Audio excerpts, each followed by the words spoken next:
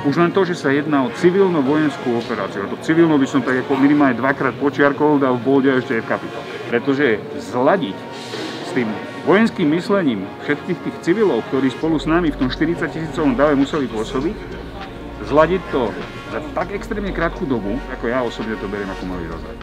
Za 17 dní ozbrojené síly dokázali zorganizovať najväčšiu akciu ako kedy na území Slovenskej republiky sme od jej vzniku videli a mohli byť jej súčasťou.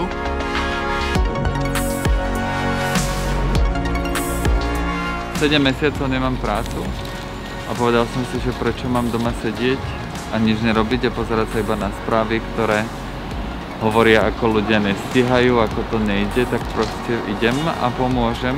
Obrovská vďaka a naozaj klobúk dole pred každým jedným tých ľudí, ktorí od skorého rána do neskorej noci slušne, priateľsky, vľúdne a profesionálne vykonávali svoju robotu a slušne, priateľsky a vľúdne sa nechali ľudia testovať.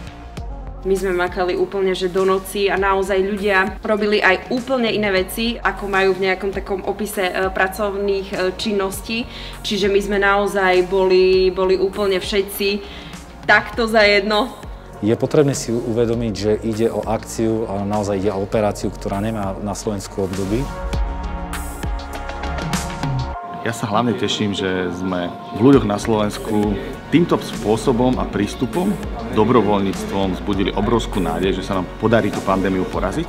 To je podľa mňa game changer v celom zvládaní tejto pandémie.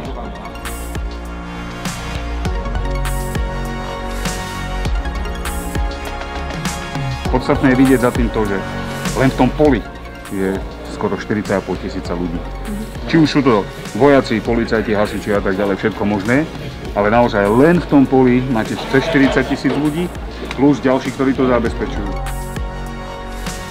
Je veľmi veľa dobrovoľníkov z ministerstva vnútra, ktorí zabezpečujú administratívne úlohy. Tá ich činnosť naozaj je veľmi dôležitá, veľmi potrebná a odvádzajú neskutočne dobrú robotu a ja im za to ďakujem.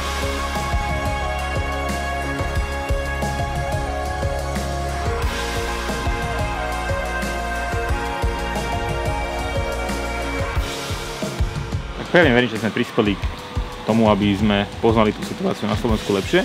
Takže podľa mňa to malo zmysel, nie? Určite. V tomto prípade už osvedčil prostriedky. Nasadenie je mimoriadne. Lebo to, to, toto je, to nie je práca. To je poslanie, ktoré sa bez veľkého srdca a odhodlania robiť nedá. Dokázali sme to a som na vás hrdý.